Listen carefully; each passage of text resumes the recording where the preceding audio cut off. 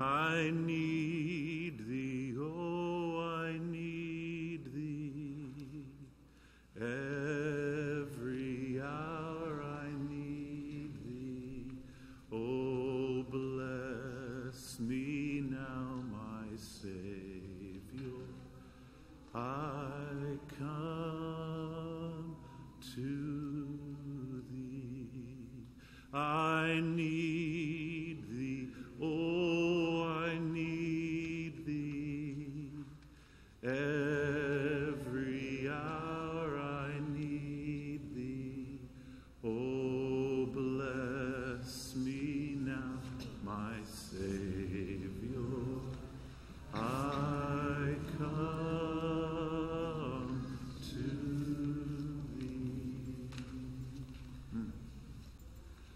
think that that's a uh, invocation prayer that he loves to hear.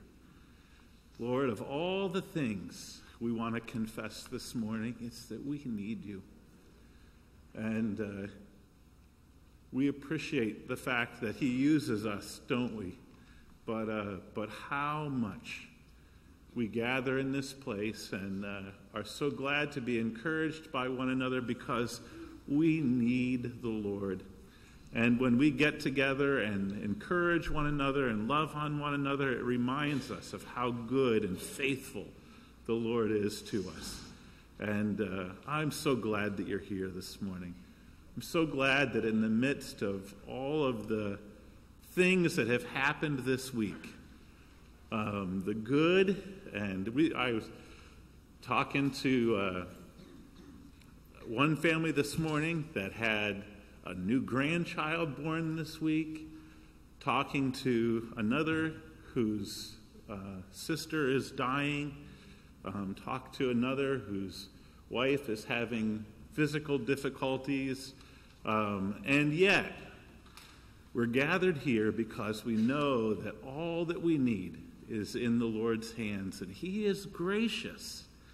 And when we come to Him and confess our need, He is so faithful and excited and enthused to grant all that we need in Jesus Christ. Amen?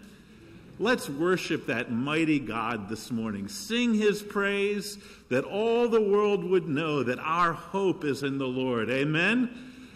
I'm going to invite you to begin by singing hymn number 234 Crown Him with many crowns, the Lamb upon the throne. Let's stand together and worship Him this morning if you can. Crown Him with many crowns, the Lamb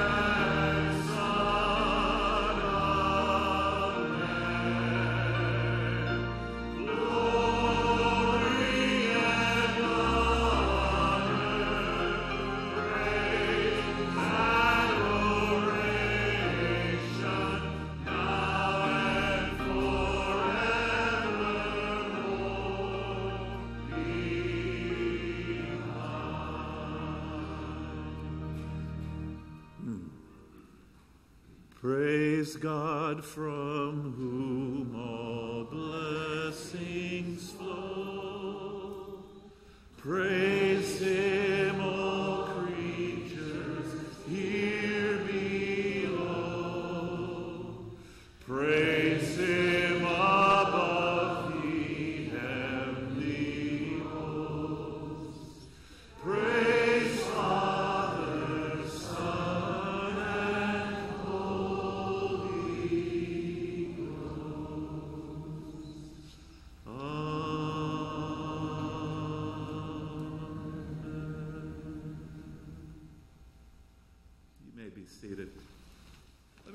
attention to our screen at this time.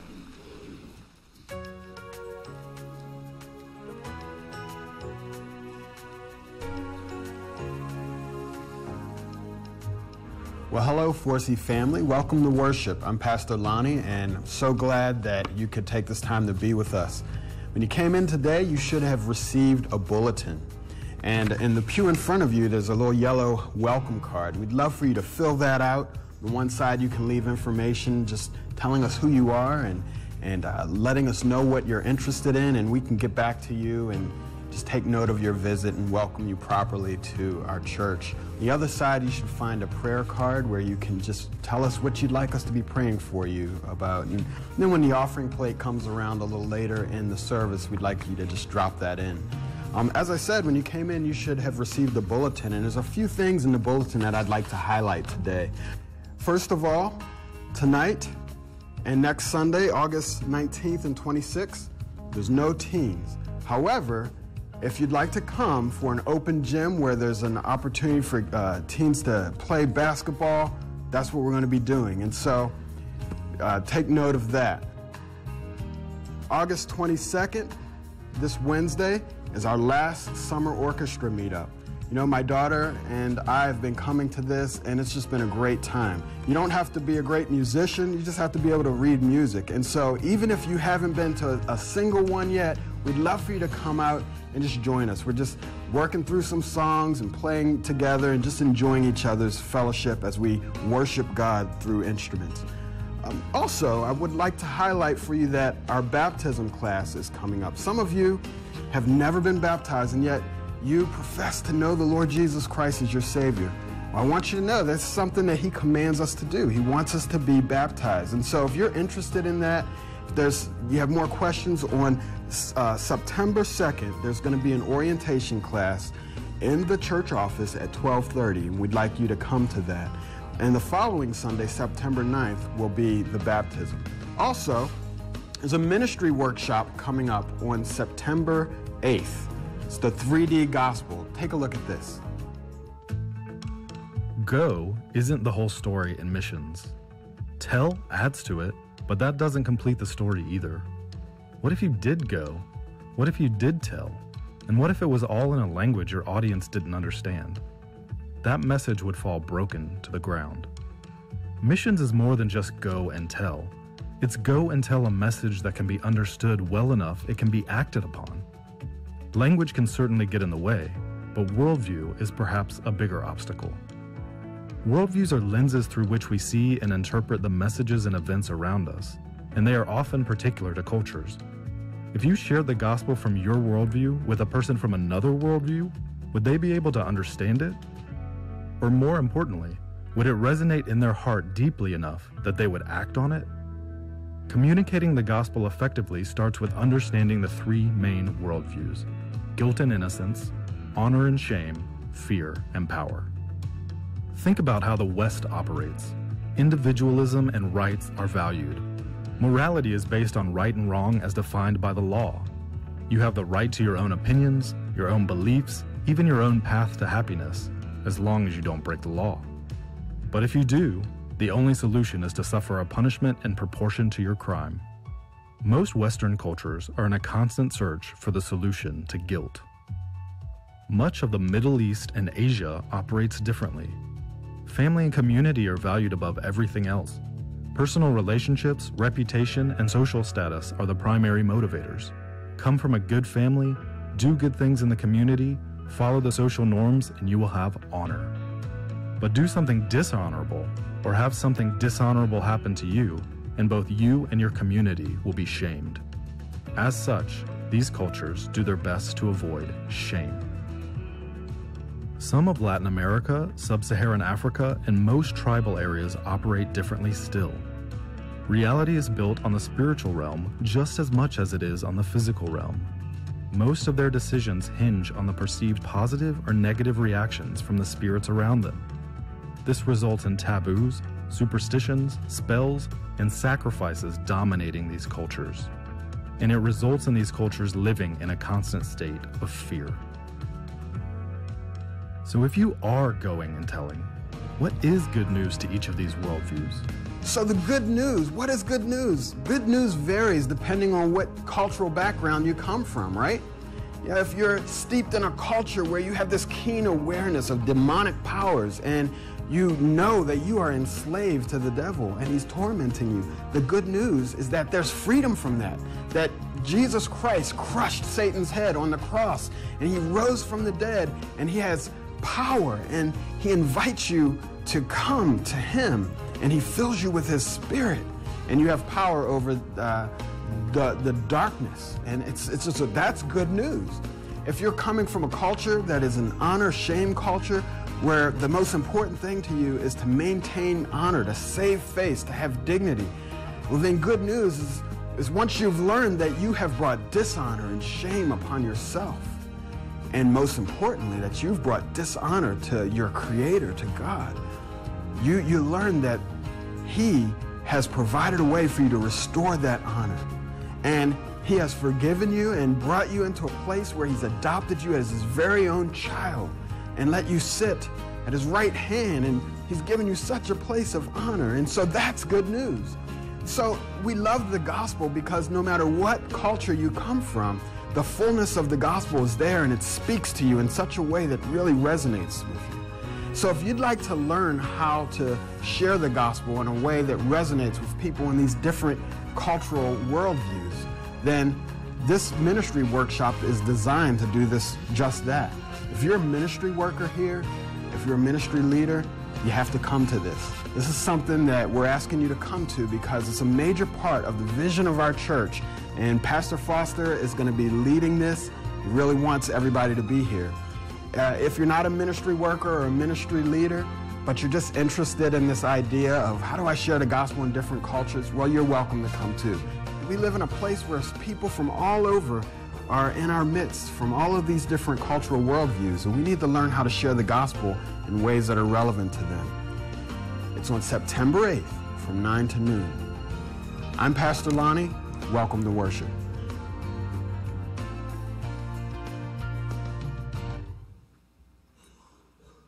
Well, that's some great information for us this morning. The good news is that one who is has grace greater than all of our sin, has come to rescue, redeem, and free us. Hymn number 201 Marvelous Grace of Our Loving Lord.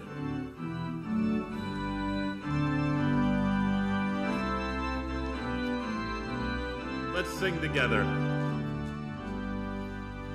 Will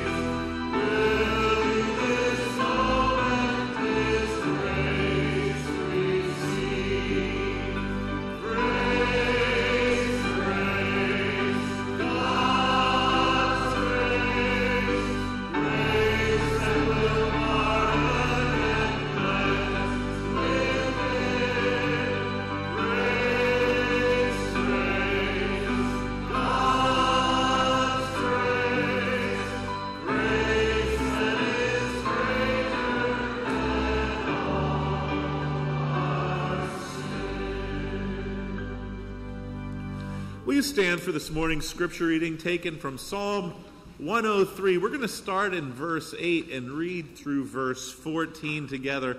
And let me invite you to just read this together in unison this morning. The Lord is compassionate and gracious, slow to anger, abounding in love. He will not always accuse, nor will he harbor his anger forever. He does not treat us as our sins deserve, or repay us according to our iniquities. For as high as the heavens are above the earth, so great is his love for those who fear him. As far as the east is from the west, so far has he removed our transgressions from us. As a father has compassion on his children, so the Lord has compassion on those who fear him, for he knows how we are formed, and he remembers that we are dust. This is the word of the Lord. Softly and tenderly, Jesus is calling. Do you hear him today? Will you respond to his tender, faithful compassion for you?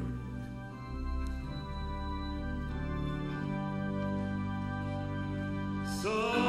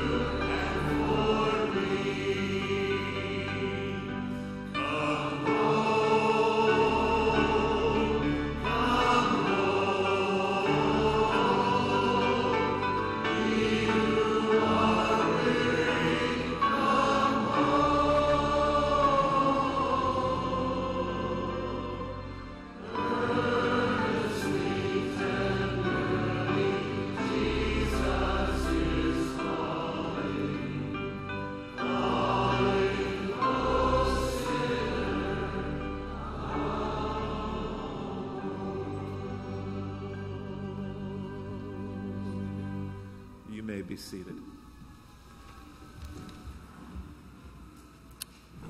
All right, let's go to the Lord in prayer. Please bow with me in prayer.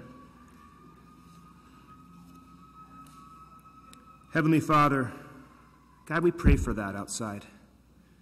Lord, that whatever emergency may be happening, Lord, that you would be just reminding whoever, Lord, that is, that you are a God who can be called upon. Lord, thank you that you are a God who can be called upon. And we call upon you right now, Lord. Um, Father, this morning as we come to worship, Lord, to hear from your word, God, make us ready to receive your words. May we be soft and able to be shaped by you this morning.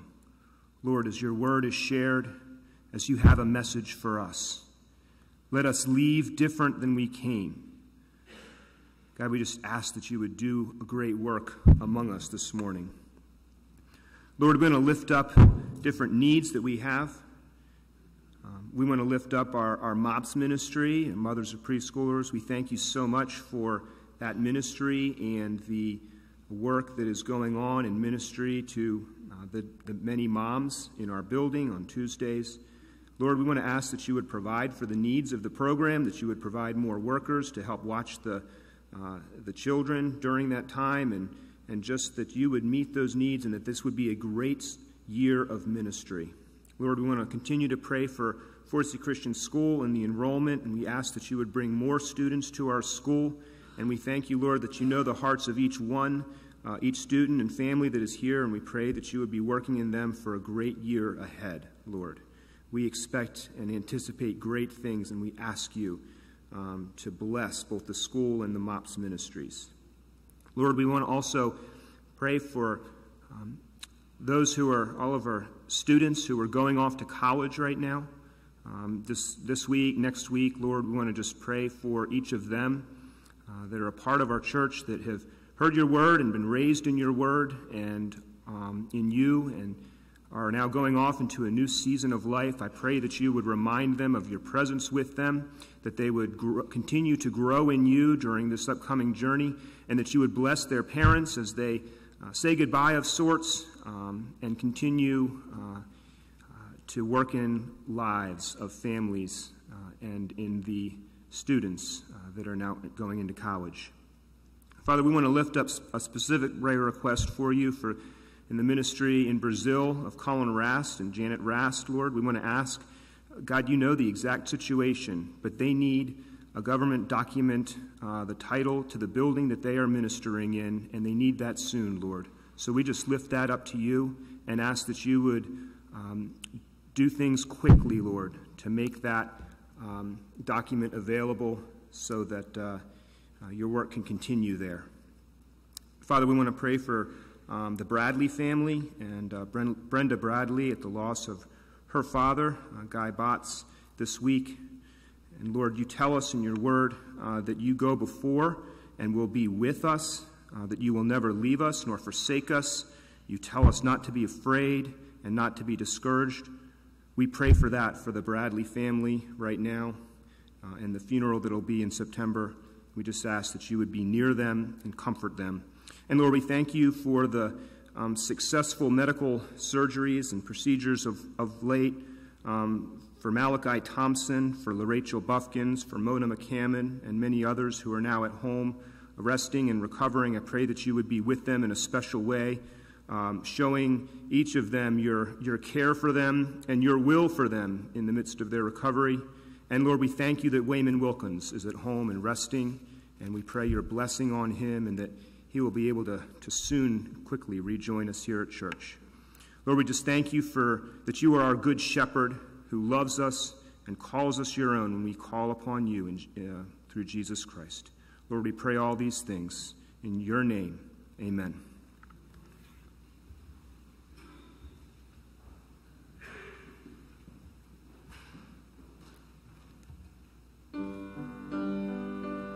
As the ushers are taking the offering this morning, I'd love to teach you a new song.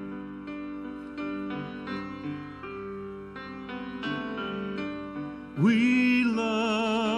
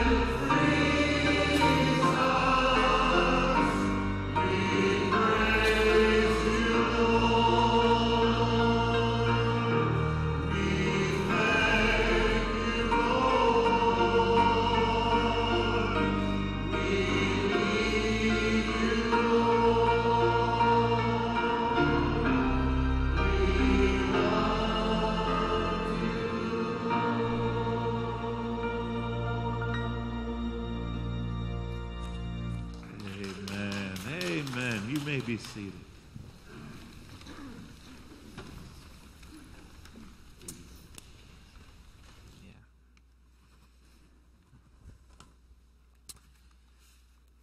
I love singing that with you.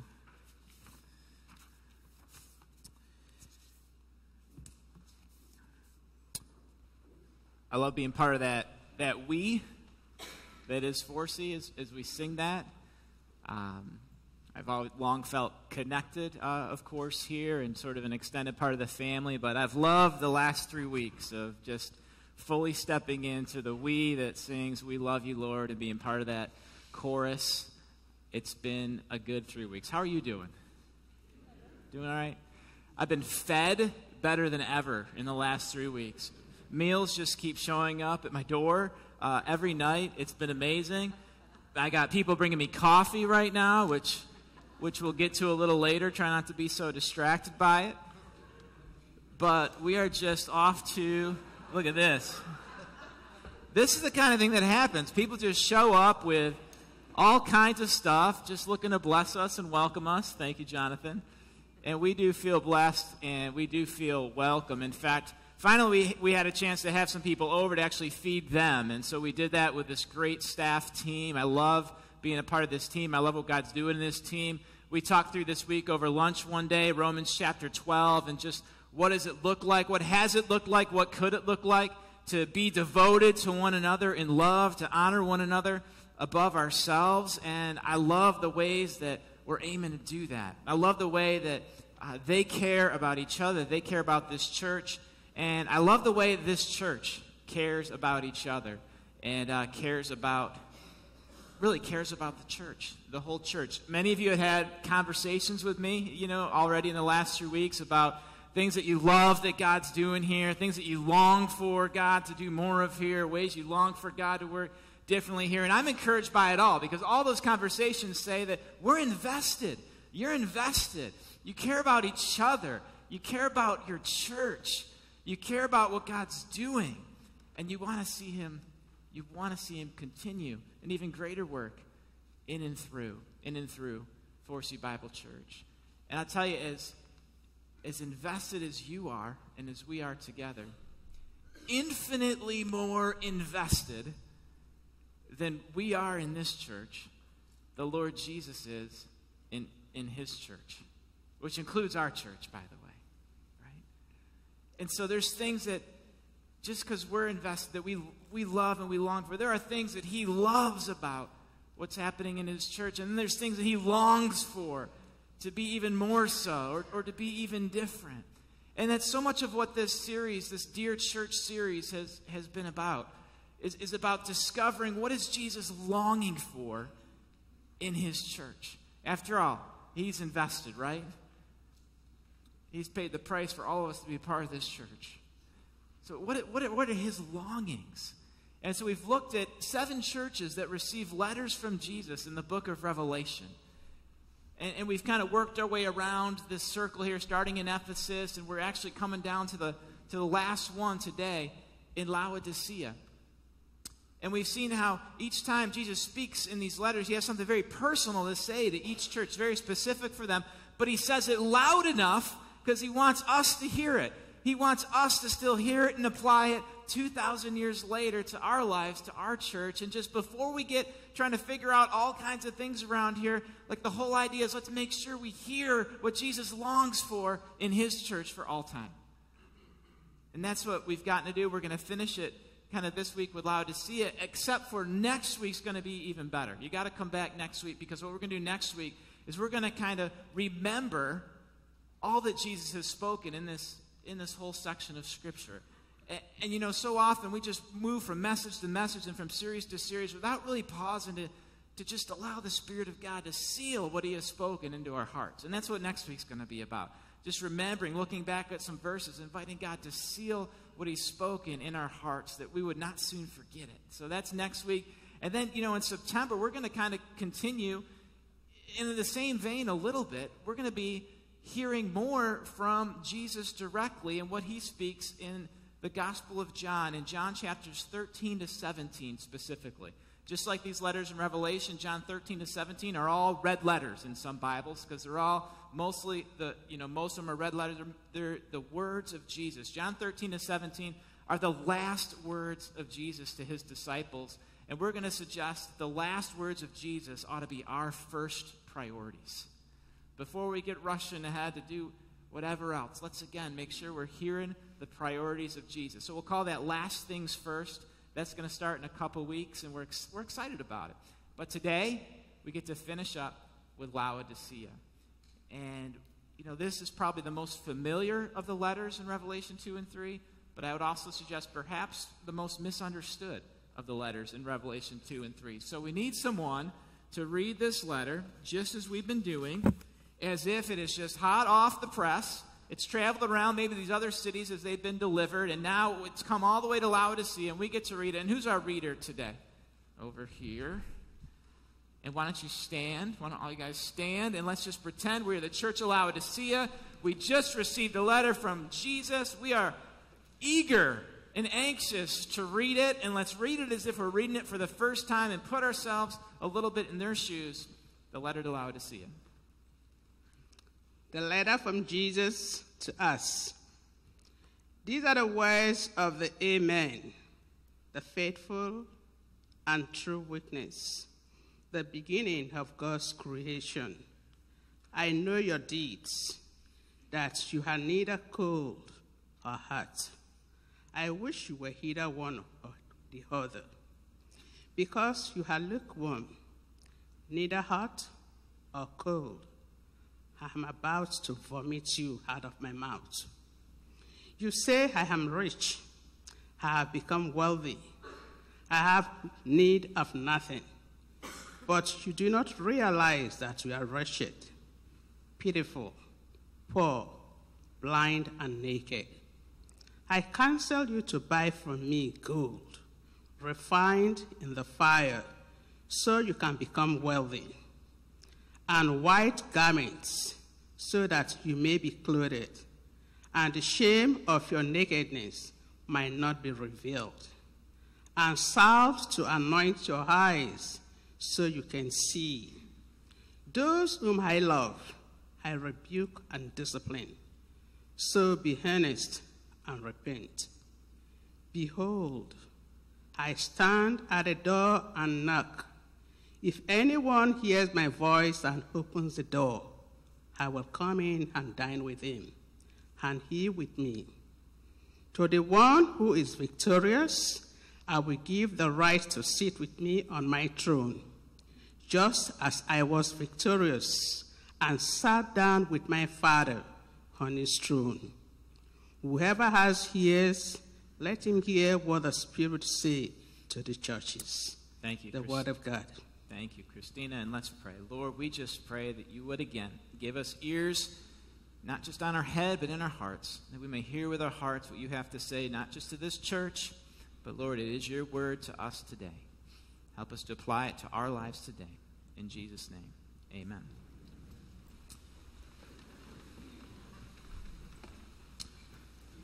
So, like the other letters, it, it starts with kind of a description of who Jesus is. These are the words of the Amen, it, it's said. And amen, of course, is that word we use to close our prayers. And did you know that every time you close your prayer, you're speaking a name of Jesus? He's called the Amen here. The amen is, you know, we say amen is in so be it or let it be, let it be so, or like modern day, kind of like true dat. True dat, that's true. We believe that. A, amen. All the promises of God, 2 Corinthians 1.20, are yes and amen in Christ. Because of Jesus, all the promises of God are true for us. So he's the amen. He wants us to know that he's the faithful and true witness. That's the same word we looked at last week to the church of Philadelphia, that trueness, that faithfulness of Christ. He's the real deal. He's not going away. He's not changing. He's the same. He's as worthy as he is of trusting today. And in the greatest moment of trusting we've ever had, he is still that worthy forever. And then it says he's the beginning of God's creation. Sometimes translated the ruler of God's creation. This word here can mean kind of beginning or ruler. It's kind of beginning in the sense of he is like the, the first one or the premier one. So it's kind of related to the idea of, of ruler as in the first, the premier one, you know, over, over everything.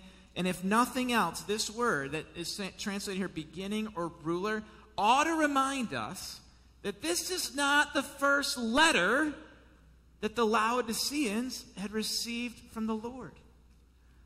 Because the only other time this word is used as a title for Jesus outside of the book of Revelation is in the other letter in our Bible that the Laodiceans received from the Lord.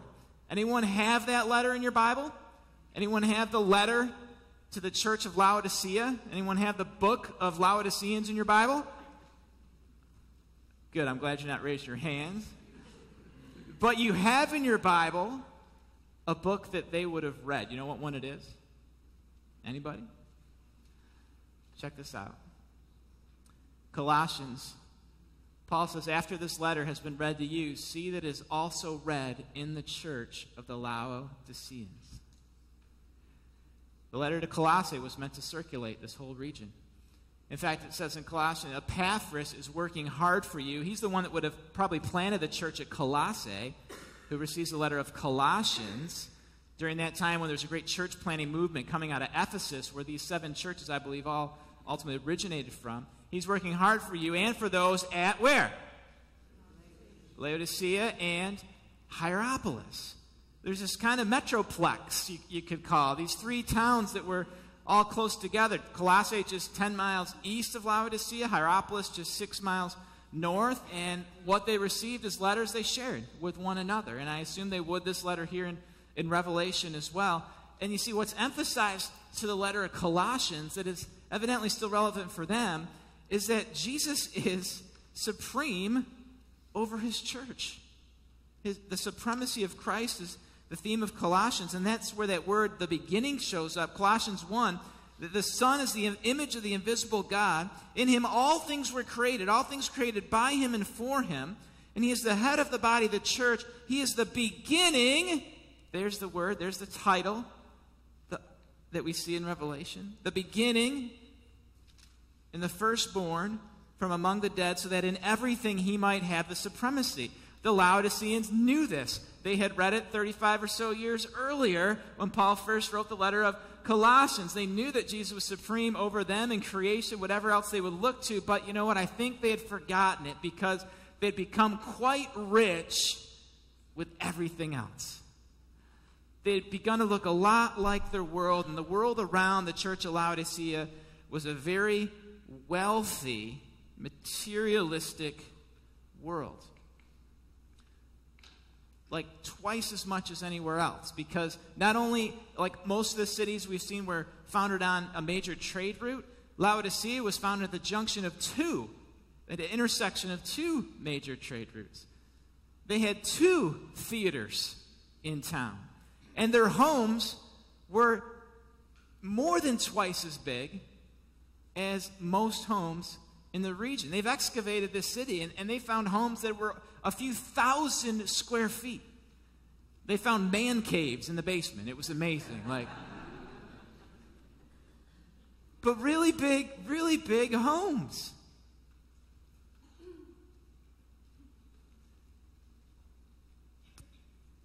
And they were they were known for it. And they, they prided themselves. They prided themselves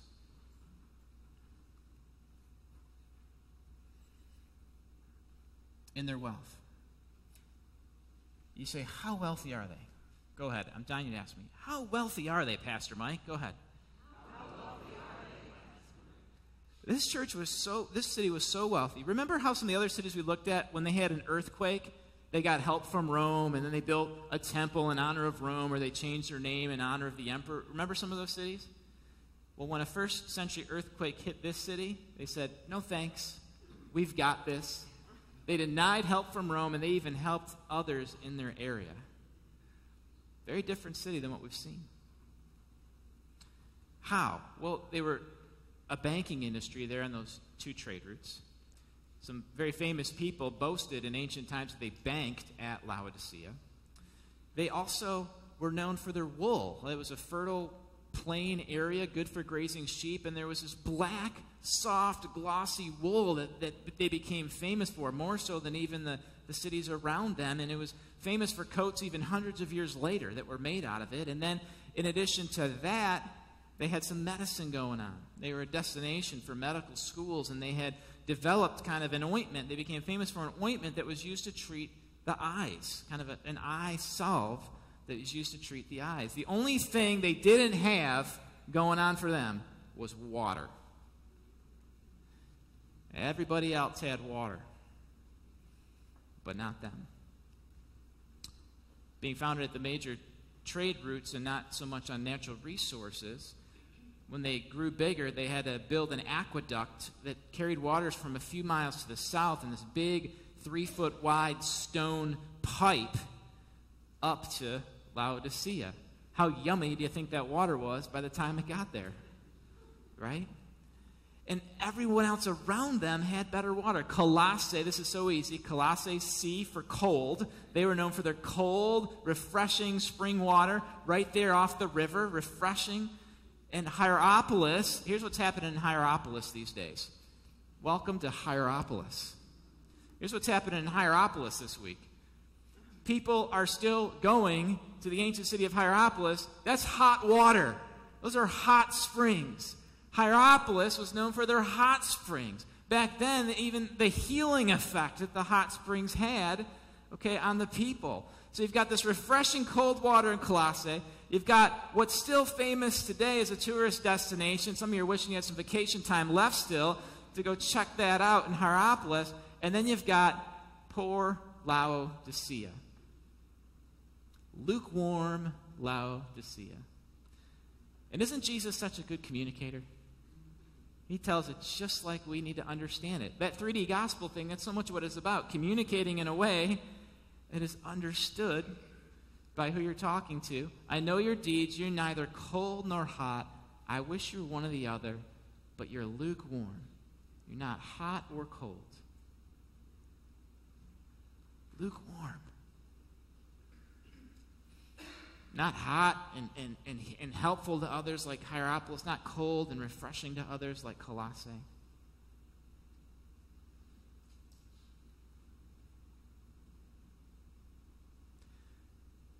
Just blah. And it, it doesn't mean that, you know, they're medium, like somewhere in the middle of hot and cold, like there's cold, as in people who don't even know or care about God at all, and then, you know, medium, and then hot. Sometimes it, this passage is presented that way. That's, that's not what cold means here at all. He's not saying, I'd rather you were just, you know, didn't care about me at all than lukewarm. No. He's saying, you're blah. I wish you were something. You don't need to know Greek to understand this. You don't need to know ancient geography. You just got to know coffee, right? You, you just got to know coffee. I mean, how many of you, now I'm not even a coffee guy, but a lot of you are. How many, this cup is still warm, Ralph. This cup, it's a good thing there's cardboard. This is still a warm, I see steam coming out of it. How many of you, if, if I offered it to you and you knew it was safe to drink, would love to drink this hot, steamy cup of coffee right now? Raise your hand. Look at that. Can I get a witness? It smells good. I'm smelling it. And how many of on a nice hot day like today, if you had a chance, this is an iced coffee. how many would love to drink an ice cold iced coffee right now? Any takers on the ice? I see a ton of hands out there for the iced coffee, right? And how many of you have got this kind of already drunk a little bit, kind of lukewarm, no steam, no smell? How many would just love to drink this nice lukewarm cup of coffee? Anybody? No hands. This is the theology of the church of Laodicea not, not only lukewarm, but traveling up that pipe just full of impurity and pollution. It'd be like there were flies in that coffee. Just blah, just nothing. No, no more wonder in their worship as they gather together, just singing songs. No more power in their prayers, just praying through the motions. No more glory in their gatherings. Like people didn't walk in and see God. see God at work, feel God's presence in the gathering of God's people. There wasn't much meaning to their ministry. They couldn't tell many stories about what God was doing. Nothing stood out. There weren't any stories to tell. Not good for much of anything. Not only that, Jesus isn't even there. He's knocking on the door outside the church. Isn't that something? They're all inside having a grand old time, singing about God, talking about God, congratulating each other. And he's like, hey guys, remember me. It's supposed to be about me. Let me back in. They're lukewarm. And he says, I'm about to vomit you out of your mouth. A lot of your translations probably say spit or spew. The thing is, there were perfectly good Greek words to say spit or spew. There was a word ptuo. It even sounds like spit. It's one of those words that means what it sounds like in the Greek language. This is not the word. The, the, the word used is a metao. Oh, it's, it's a verb where we get our word emetic from. E M E T I C, a word still used today to describe something like a medicine or something that makes you vomit.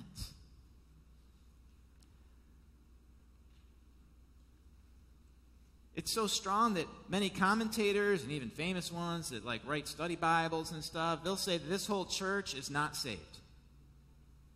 Which is interesting because it is a church. He calls them a church. Which you need believers to have a church.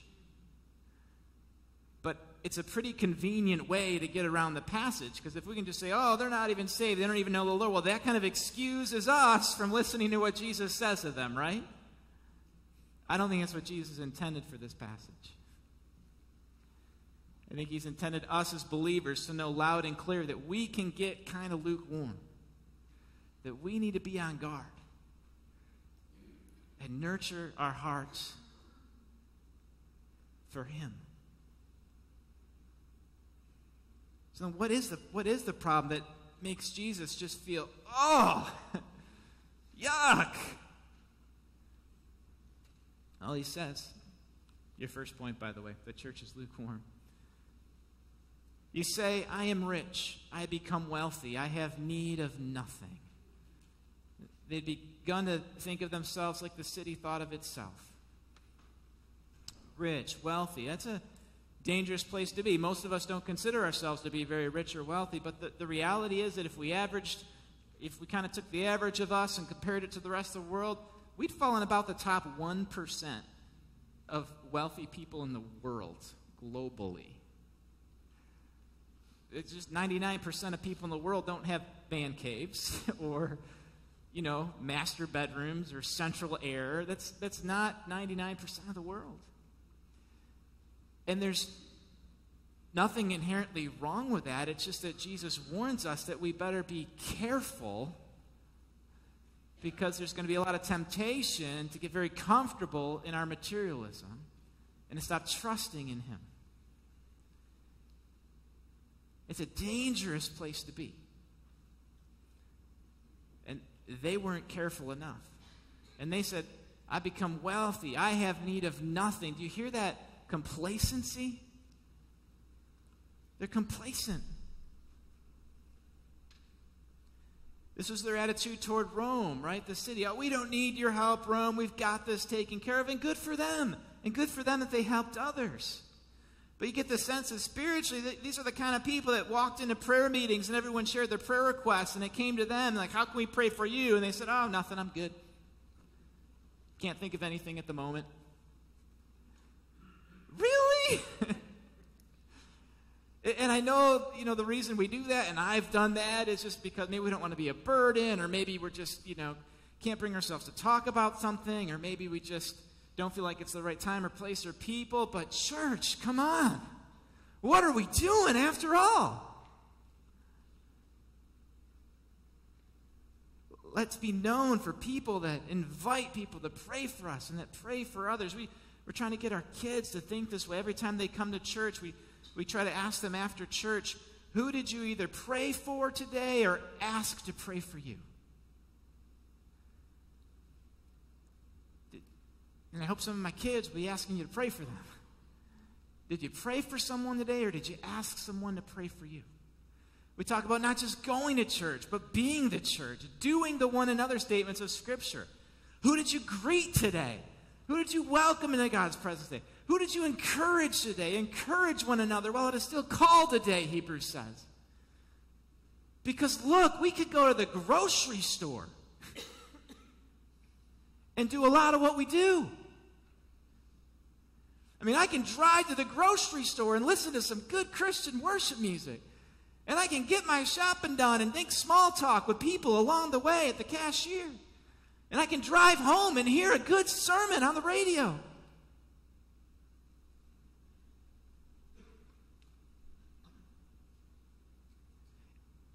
And the things that happen in this place on this day ought to make us different from people that just go to the grocery store. Or else, why bother? We could go get some shopping done. We get ahead for the week.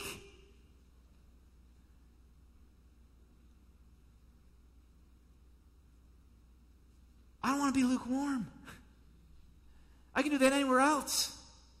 When we come into this place, when the body gathers together, we can't afford just to go to church like these guys are doing. We've got to be the church. This isn't welcome to church. Hi. This is we are the church together. Right? I think so. And so just be released to be the church. Okay? Like, let's give ourselves permission to be the church. Let's give ourselves permission when we come in and we see someone sitting by themselves, even if it's outside of our designated section. We were joking about this earlier. Like, let's give ourselves permission to go and to say hi and to welcome them. And not fear. What if they've been here a few weeks already and I haven't met them and they're going to think I'm weird if I haven't met them? And no! Let's just be the church. Let's give ourselves permission when we come to, to pray for each other. Let's not make it feel weird to put our arm around each other and to give prayer or to ask for prayer. When we sing, let's feel free to sing loud, to express worship, whatever that looks like. Let's just make sure it's more, more than what we would express at a game or a concert somewhere else.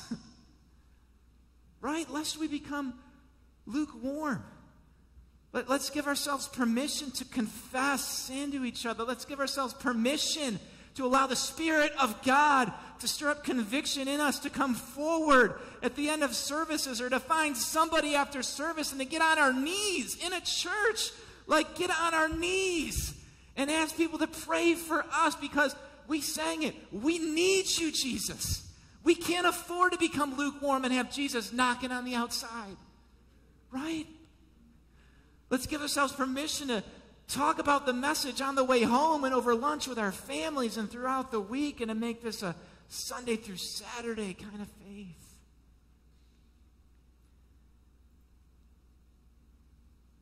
And let's not think that this can't happen to us because that's what they thought. Because the verse goes on in verse 17 you say, you know, you're rich and you don't need a thing, and but you do not realize that you are wretched, pitiful, poor, blind, and naked. They were deceived. That's the next point. Oh, they thought they were so rich with their banking, they were poor. They thought they had this great eye ointment, they were blind. They thought they had this great wool clothing, they were naked. They were deceived. And it's so easy to fool others and ourselves with just where, where we're at.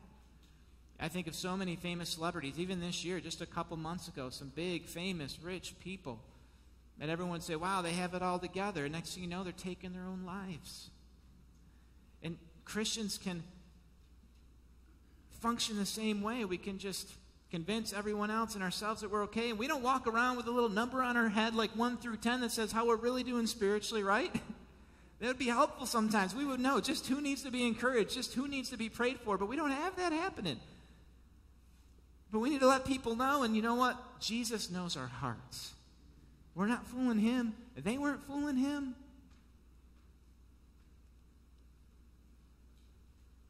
And so he wanted to spit, vomit him out of their mouth. But you know what else? I love this part. Listen to what he says to him.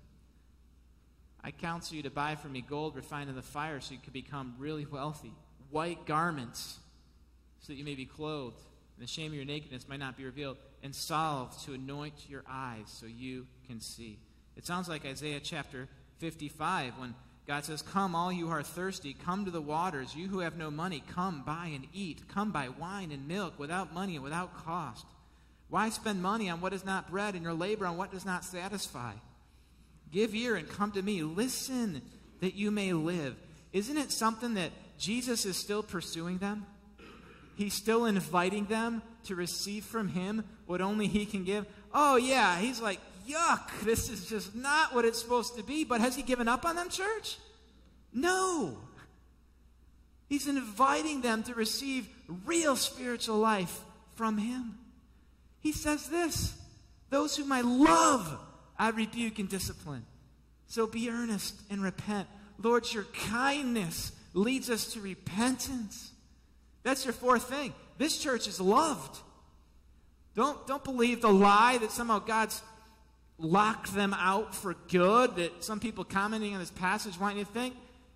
Those I love. I'm here, I'm saying this, I'm inviting you still because I love you. I want more for you than what you can imagine, than what you're settling for. I want more because I love you.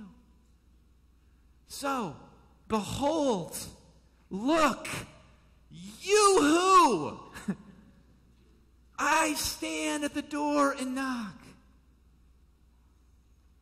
Isn't that something? He's not kicking the door down.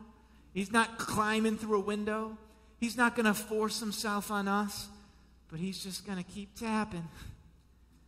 Keep reminding us. He's still there. He wants more for us. It can happen. It can be ours. If, you want, if anyone hears my voice and opens the door, I will come in and dine with him and he with me. It's more than just eat with him, it, it, it's a cultural experience of just dining for hours with somebody, really getting to know them. I will come in and dine with him and he with me. And it's not just hearing his voice, because we're all such good hearers of the word, right? But God asks us to do something to open the door, which means we have to get up out of that comfy chair, up out of that chair of comfort and complacency. It's hard to get up, right? None of us like to get up out of that comfy chair.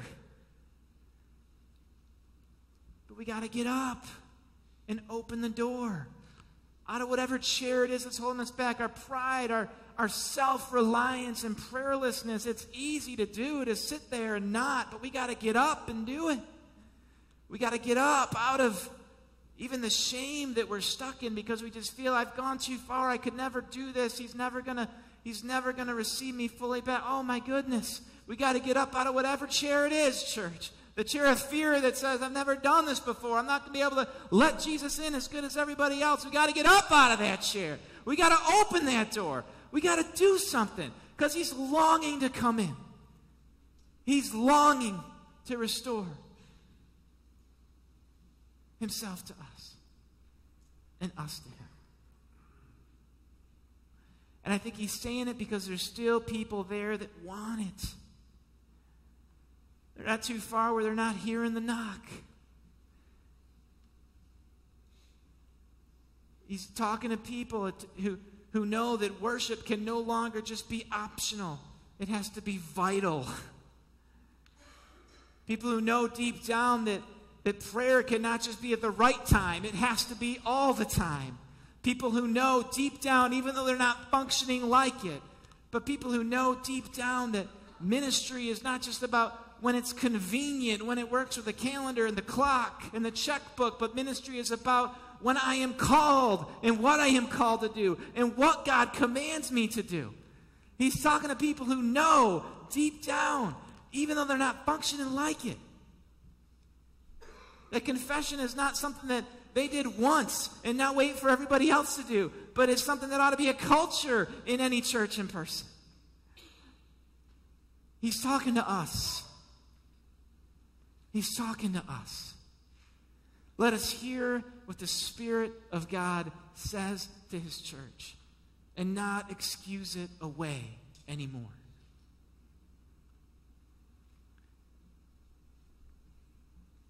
And so, what do we do?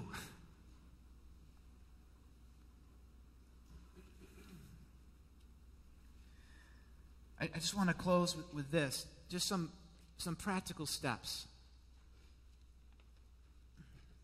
Jesus is knocking, if you missed that one. Just some practical steps, because I've noticed in spiritual life there's some, there's some dead zones we can fall into, and they're at certain times, okay? So sometimes we get into a dead zone somewhere between salvation and, and baptism. You know, we, we know the Lord, we're convinced of, of who He is, we've received Him into our lives, but we're hesitating on baptism. Maybe we don't feel good enough, maybe we don't feel ready enough, maybe we're just confused about it. I hope if you're here today and you've trusted the Lord as your Savior, you will explore this idea of baptism. We've got a, a, class next week, Pastor Ron, I believe, is teaching, and then a baptism on September 9th. We'd love to have you take that step. When people hesitate at steps that God's calling them to, it's easier to get into lukewarm places. We don't want to be there. okay? Somewhere between baptism and membership is a dead zone. You know, church membership is something we do here, not, not because we, you know, need to have a ton of members or because there's some command like you be a church member. No, but there's commands that say be together, commit to one another, do things together. And church membership, I think, from what I understand here, is just a way for people to express that that's what they want to do. You don't get a timeshare for it somewhere, you don't get a special key to the building. You just express that I'm in, I'm all in. I'm all in. That's what Jesus is looking for. Baptism, I'm all in, I'm all under, I'm all in. Somewhere between church membership and fellowship, we get stuck. Like maybe you're here and you've, I did the membership thing. I, I learned about the church. I did that. That was good, but I'm still not in relationship with people. Take a step toward toward fellowship. I had the greatest time with this MOPS group this week. Uh, just the, the greatest time with Mary Ellen Stewart. And she was telling me about this MOPS, you know, ministry for moms It is like second and fourth Tuesdays, I think. And man, if you are a young mom or know a young mom, what a great ministry. They're going to be out there today with a table. You could just let them know you want to be part of it. If you can't afford it, maybe someone can help. I will help. I, I will, if you want to do that or know someone who does, I will help make that happen. Because we need fellowship. There's a men's retreat coming up. We need fellowship. There's a, there's a dead, lukewarm zone in there we don't want to fall into, okay? And, and somewhere between, you know, fellowship and membership and ministry. Like sometimes we just get stuck in this place of coming, but not as much serving. And it's not necessarily always your fault or our fault. It's sometimes we got to do better at helping people connect. And here's some opportunities to serve. And we don't feel qualified and we don't feel ready. Well, if we just stay in that place, we get lukewarm. I don't want to be that. So serve. The 3D Gospel Workshop. It's, it's for anyone who wants to get involved in the ministry, even if you're not sure where to serve around here. Jump in. We'll help find a place for you. It's going to be a great day. It's going to be a great day. What I want to do as we close is just, I made some just simple, um, simple sign up sheets. Basically, baptism, membership, home groups, another thing. I know they're having a home group leaders meeting soon if you want that fellowship. I meant to mention home groups. Maybe you're here and you don't know. I don't know what the first step would be. I'm hearing you. I feel this sense of lukewarm. I don't know what the first step would be for me. Come forward after service and just write your name down or let one of us know. I want to take the first step. Help me find what it is. I mean, for some of you, that would take a huge faith in what the Spirit of God is doing in your heart. Just to take that step and say, Yeah, see me. I want to take a first step. I'm not sure what it is. I'm going to put these down here so that after the song, after the service, if you'd like to express some kind of response that I want to take a step so that I'm less in a position to become lukewarm than I would have been. Let's not just hear the word, right? Let's do the word. Let's open the door. I don't know what it is for you. It could be something entirely different than what I just talked through. Let God speak to you. If you need some help, turn to the person next to you. Help me open the door. Let's pray. Lord,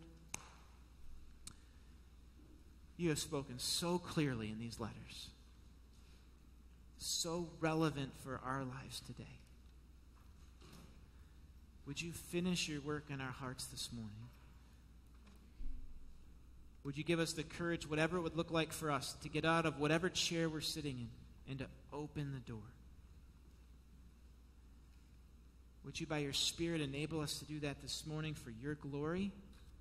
And would you make us a hot church or a refreshingly cold one, but one that makes a difference, Lord, because you've made us different? And we pray in Jesus' name. Amen.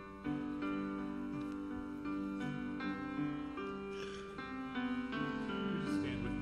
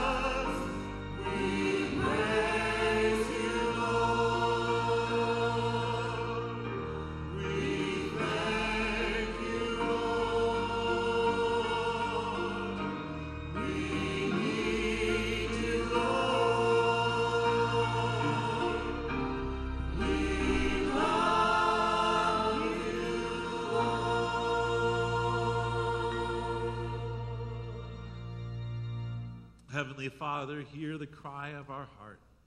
May the words of our mouth and the meditations of our heart be acceptable in your sight. Lord, give us a fire that burns for you, that you may be glorified now and for all eternity, we pray. In Jesus' name, amen. God bless you. Go in peace.